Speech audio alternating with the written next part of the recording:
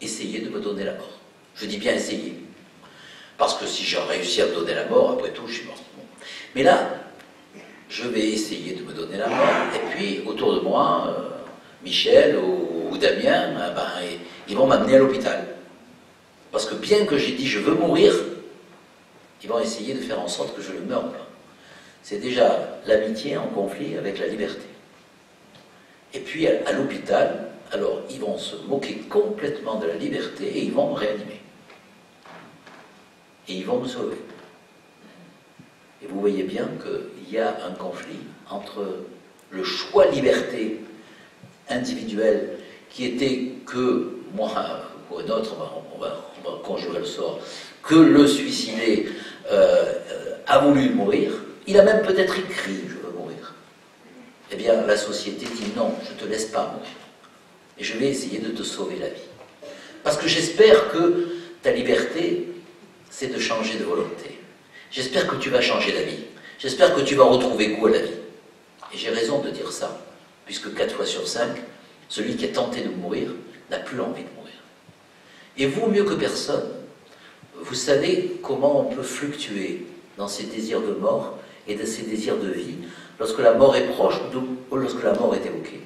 Combien par moment, au bout du désespoir, je dis maintenant il faut qu'on arrête tout là. On arrête tout, puis je veux mourir. Parce qu'une douleur est mal calmée, parce qu'un contact euh, n'est pas donné, parce qu'une parole est blessante, parce que celui qu'on aime ne vient pas. Et puis, euh, quand on a ce acte de désespoir, tout d'un coup, ah oui, mais dimanche, les petits-enfants vont venir. Et donc, euh, ces phrases curieuses, où celui qui vous a dit, maintenant il faut que ça s'arrête, vous dit, dimanche, les petits-enfants vont venir, je vais tenir jusque-là.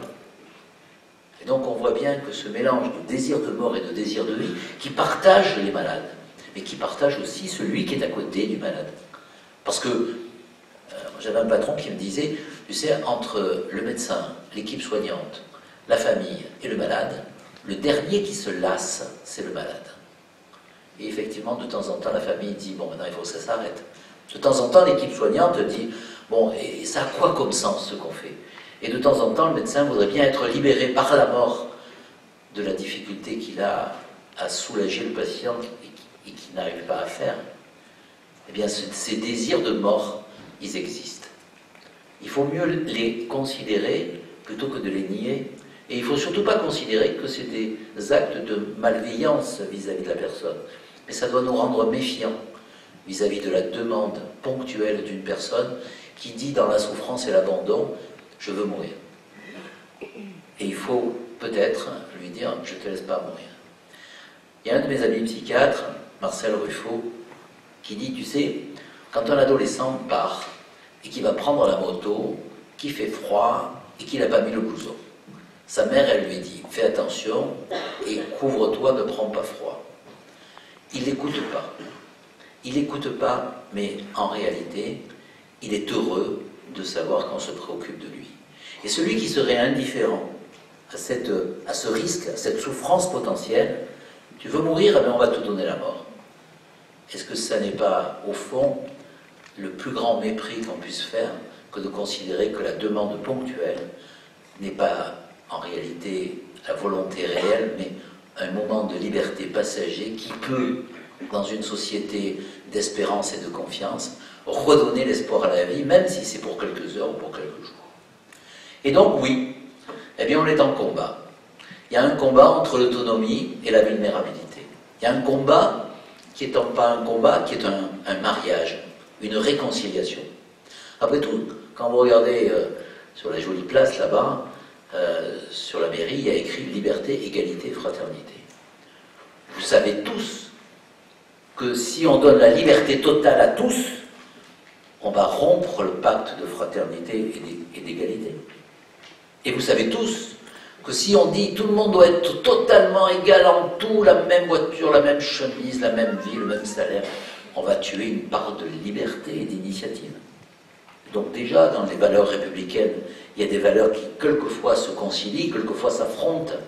Et donc, comment trouver, dans l'action que l'on mène auprès de la vie finissante d'une personne humaine, cet équilibre entre une éthique de la vulnérabilité qui dit Je te laisserai pas, je t'abandonnerai pas, je te laisserai pas souffrir, je te prolongerai pas de manière anormale, mais je te donnerai aussi le goût à la vie parce que tu es encore la vie. Et puis celui qui dit Je, éthique de l'autonomie et de la liberté, oui, mais je ne veux pas souffrir et maintenant vous arrêtez tout et vous me laissez m'endormir du sommeil de la terre. Est-ce que, est que les deux sont conciliables? C'est tout le débat. Et c'est toute la difficulté de dire, et vous êtes pour les uns ou pour les autres Je suis pour cet équilibre. Et c'est peut-être ça que vous, vous vivez au quotidien et que vous savez mieux que personne. Éthique de l'autonomie, droit de changer d'avis et de liberté, éthique de respect de la vie, c'est le droit de dire ta vie m'importe. Moi j'avais une vieille grand-mère qui, je n'allais pas voir forcément, pas assez souvent à son goût, et qui faisait les pieds paquets. On mange les pieds paquets à Belfort? Non, on mange pas ça. C'est un machin à nous, ça. C'est un machin du Sud. C'est des tripes, euh, enfin, c'est gras, gras, quoi. Mais, bon, j'aime ça, voilà. Euh, et ma grand-mère faisait les pieds plaqués à la perfection. Et donc, euh, quand j'allais manger chez elle, elle me disait à quoi je sers, et nini, et tu vois, pour des vies comme la mienne, il faudrait mieux qu'elle s'arrête, etc., etc. Et je mangeais les pieds paquets, et je lui disais, tu fais les meilleurs pieds paquets du monde. Eh bien, dire à l'autre, je, le faisais sans arrière-pensée, parce que c'est vrai que les pieds paquets étaient bons, mais si on réfléchit deux minutes, on se dit qu'au fond, celui qui vous dit je ne vaux plus rien, il veut lire dans votre regard, je vaux encore quelque chose. Et il veut qu'être être nié dans le fait qu'il se dénigre. Et si on ne comprend pas ça, on ne comprend pas le rapport humain de celui qui appelle à l'autre au secours d'une façon quelquefois violente, en disant Est-ce que ma vie vaut encore quelque chose à tes yeux? Et la réponse, elle doit être oui. On m'a interpellé euh, avant-hier au congrès des infirmiers à, la porte de Versailles. Il y a une infirmière d'un pays étranger, si éloigné de Belfort, qui me dit euh, Mais vous voyez pas qu'ils ont honte d'être comme ils sont et qu'il faut les libérer par la mort Je me suis rappelé une phrase de Sartre qui dit On n'a jamais honte tout seul. La honte, elle se lit dans le regard de l'autre. Celui qui dit Tu as honte, celui qui dit Tu dois avoir honte, c'est la société. Et si la société, sur les plus vulnérables, elle porte vers eux un sentiment de dégoût qui les amène à être honteux, c'est la société qui devrait avoir honte d'essayer de donner honte à ceux qui sont les plus fragiles. Donc rappelons-nous bien que la honte, c'est un sentiment que je ressens, mais on n'a jamais honte tout seul, c'est l'autre qui me fait honte. Et donc nos regards et vos regards sont des regards de dignité, qui redonnent la dignité et qui effacent la honte. Si on va au bout de la loi, qu'est-ce qu'elle disait au fond cette loi 2005 alors il paraît que la 2005, elle était géniale. Bon, à l'époque, elle n'était pas géniale, mais enfin, euh, c'est toujours comme ça. Le passé est toujours un peu mieux que... Et la 2016, elle est un peu compliquée. Alors on va s'expliquer sur la 2005 et la 2016. La 2005, euh, elle a une jolie histoire, mais je ne vous la raconterai pas. C'est une histoire euh, politique où à un moment donné, les hommes de droite et de gauche se mettent à écrire un texte ensemble. C'est pas un moment très désagréable. Je sais bien qu'en ce moment, c'est c'est très iconoclaste de raconter qu'on peut s'entendre avec l'adversaire et l'ennemi. Mais moi, je pense qu'il y a des moments où, la réconciliation dans une démocratie sur des objectifs qui nous dépassent, eh bien, c'est faire honneur justement à la démocratie et rendre compte de son mandat avec dignité. Je ferme cette parenthèse pour dire que on écrit trois choses en fait. On écrit des articles, mais on dit je t'abandonnerai pas, je ne te laisserai pas souffrir, je ne te prolongerai pas de manière anormale. Et les trois nous paraissent euh, évidents quand on les regarde comme ça, mais dans la réalité, ils, bouleversent l'état des lieux. Je ne t'abandonnerai pas. Et moi, médecin, qui suis formaté pour sauver et guérir, je vais ne pas t'abandonner, même quand il n'y a plus rien à faire pour te sauver et te guérir. Et donc, euh, moi, corps médical, qui est soignants, qui sont la traduction des valeurs de la République, parce que heureusement, la médecine française est en phase avec les valeurs fondamentales de la République, eh bien, moi, je, tu m'intéresses toujours. Il n'y a pas le cas intéressant que j'ai pas envie de soigner et le cas intéressant que j'ai envie de soigner. Il n'y a pas le malade que je peux sauver qui m'intéresse et le malade que je ne peux pas sauver et dont je me désintéresse. Je ne t'abandonnerai pas. Je crois que c'est un élément euh, important euh, euh, pour qu'on n'ait pas quelqu'un qui nous dise un jour pourquoi, pourquoi tu l'as-tu abandonné. Et donc, c'est une œuvre collective. Et vous, plus, plus qu'ailleurs, cette présence dont vous, vous évoquiez, Madame la Présidente, l'élément, cette présence, c'est je ne t'abandonne pas. Cette présence, quelquefois silencieuse d'ailleurs. Donc, je ne t'abandonne pas. Je ne te laisse pas souffrir. Ça, c'est plus compliqué. La souffrance, c'est plus que la douleur, ou du moins la douleur est une souffrance, mais toutes les souffrances ne sont pas des douleurs. S'étouffer, c'est une souffrance. Vomir toutes les cinq minutes, c'est une souffrance. Ne pas pouvoir bouger dans son lit, c'est une souffrance. Donc, euh, pour autant, ça n'est pas une douleur physique. Mais c'est un peu compliqué, surtout que euh, vous savez qui est-ce qui a inventé les soins palliatifs. C'est une Anglaise, c'est Cicely Sanders, qui, euh, au St. Christopher Hospital à, Londres, invente les soins palliatifs. Et la première chose qu'elle découvre dans les soins palliatifs, pourquoi il faut faire des soins palliatifs, elle le dit, il y a à ce moment-là une souffrance globale. C'est-à-dire que je ne sais plus dire s'il euh, y a la douleur physique, euh, s'il y a l'angoisse, s'il y a l'inconfort. Et c'est pour ça que les soins palliatifs, en reprenant la globalité de l'humain répondent exactement à la situation très particulière de la vie finissante. On n'est pas dans une, dans une thérapeutique d'organes, on n'est même pas dans une thérapeutique de maladie. On n'est pas en train de soigner le foie, on n'est pas en train de soigner un, un cancer du poumon. On est en train de prendre en charge de manière globale un individu qui souffre. Comment je peux dire je ne te laisserai pas souffrir? Comment je peux dire je ne te laisserai pas souffrir? Ah, on a tellement, dans notre société et dans notre médecine, été réticents à utiliser les sédatifs et les antalgiques en fin de vie, que ça veut dire tu peux les utiliser, hein. puis ne t'inquiète pas. Je me rappelle que moi, il y avait un, de mes maîtres qui disait n'utilisez pas la morphine, sinon ils vont, devenir toxicomanes. Tu vois, tu vois un peu le, niveau d'une certaine médecine à une certaine époque. On ne devient pas toxicomane parce qu'on a une souffrance extrême qui est calmée par la morphine. Voilà. Tout le monde sait ça. Bon. Mais à l'époque, au dernier moment, au tout dernier moment. Et donc, euh, les antalgiques et les sédatifs étaient utilisés avec une telle parcimonie qu'on avait l'impression à la fois qu'on ne voulait pas les rendre toxicomanes si par malheur ils s'en sortaient, et puis en même temps ne pas hâter d'une seconde la mort. L'avantage ou l'inconvénient de la loi de, de 2005, c'est d'avoir accepté le double effet. Est-ce que en mettant les sédatifs et les antalgiques, je peux raccourcir sa vie Peut-être. Mais je dois le faire quand même, parce que la prise en charge de sa souffrance prime sur la durée de sa vie. C'est choquant à le dire comme ça, et en plus c'est faux. C'est faux parce que les médecins de soins palliatifs et l'évolution de la médecine palliative nous ont appris un truc qu'on ne savait pas, c'est que quand on supprime la souffrance, on allonge la vie. Alors peut-être bien que lorsque je supprime la souffrance de la vie finissante, je saurai jamais si j'ai raccourci un peu, allongé un peu ou rien changé à la vie, mais peu, peu m'importe. J'ai en face de moi quelqu'un qui souffre, j'ai les moyens d'empêcher qu'il souffre, et je dois utiliser ces moyens dans un seul but, qu'il ne souffre pas. Quitte à, et on en reparlera sur la 2016, dit quitte à ce qu'il s'endorme pour ne plus souffrir.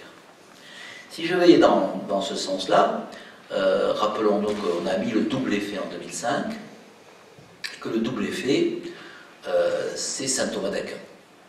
Donc euh, c'est une culture assez ancienne et en même temps assez, assez charitable. oui, et c'est habituel le double effet. Il n'y a jamais un seul effet dans les choses qu'on fait il y a un effet positif et puis qui entraîne toujours un effet négatif.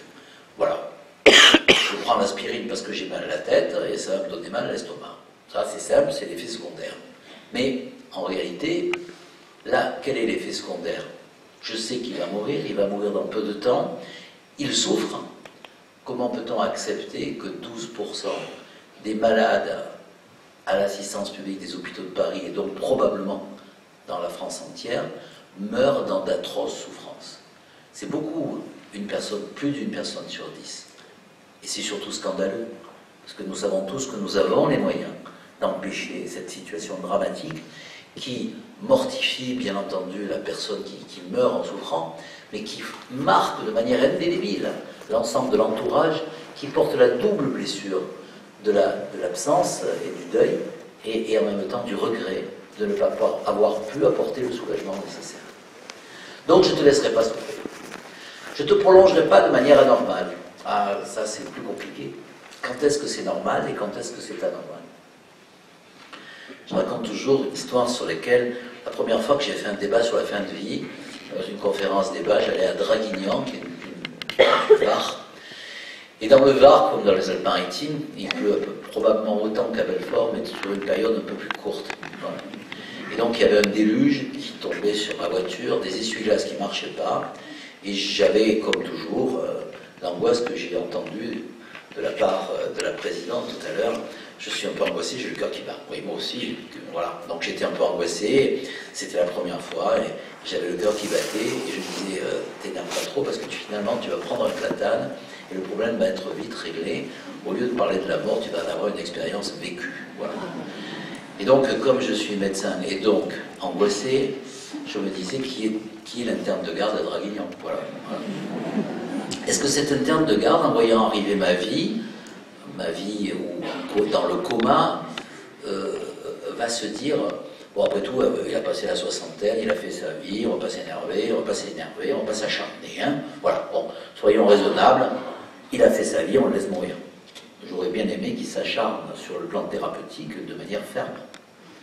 Mais en même temps, ce médecin, 15 jours, 3 semaines, 3 mois après, constatant sur les examens complémentaires que mon cerveau est totalement détruit, que je ne sais même plus que j'existe, que jamais plus je n'aurai la moindre relation à l'autre.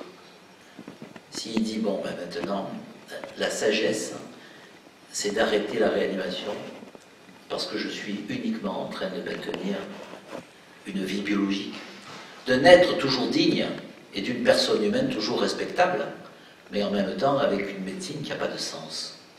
Et j'aurais bien aimé qu'il appelle ma femme et mes enfants et que, concertés, ils arrêtent de me maintenir artificiellement en vie. C'est quand même curieux que le même traitement qu'on faisait aux urgences, quand on le fait trois mois après, un paraît raisonnable et l'autre paraît déraisonnable. Qu'est-ce qui a changé entre les deux? Le pronostic. Le diagnostic et le pronostic. Ce cerveau est détruit de manière définitive. Et ça, c'est un élément majeur, et c'est la raison pour laquelle, dans la loi de 2005, on dit il faut arrêter les traitements inutiles, ceux qui sont disproportionnés, et ceux qui n'ont pas d'autre effet que le maintien artificiel de la vie. Je suis de ceux qui pensent, et on peut en discuter, euh, que l'homme est une pensée. De Descartes, qui dit je pense donc je suis, à Pascal, qui dit je suis un Rousseau pensant. Si je détruis le cerveau de l'homme, c'est toujours un homme. Et ça n'est pas une chose. Il, mérite toujours le respect, l'accompagnement et la dignité. Mais en même temps, qu'est-ce que je fais lorsque je continue à maintenir cette vie artificielle? Et peut-être, je dirais, contre ce qu'il aurait voulu, et en tout cas peut-être contre ce que je me représente comme dignité. Il y avait, euh, dans toutes euh, ces questions, on a toujours interrogé les religieux. J'ai bien aimé euh, le recteur Boubacar qui, au nom de, de, la religion musulmane, disait il est des moments où il faut que la main de l'homme se retire pour que la main de Dieu se pose. Je ne dis pas ça pour vous convertir à l'islam, je dis ça simplement parce que il y a même une réflexion spirituelle qui consiste à dire est-ce qu'il n'y a pas un suprême orgueil à l'homme de vouloir maintenir sa vie à tout prix alors que sa vie doit partir? A une autre histoire, tiens, alors une autre histoire qui est très jolie, qui me plaît beaucoup, c'est une histoire du Talmud. Euh, rassurez-vous, je vous raconterai l'histoire chrétienne à un moment donné. Euh, dans le Talmud, il y a un vieux rabbin qui est très sage et très saint. Et il est entre la vie et la mort. Et le Talmud raconte que ce rabbin qui est entre la vie et la mort souffre. Et donc, euh, euh, comme il était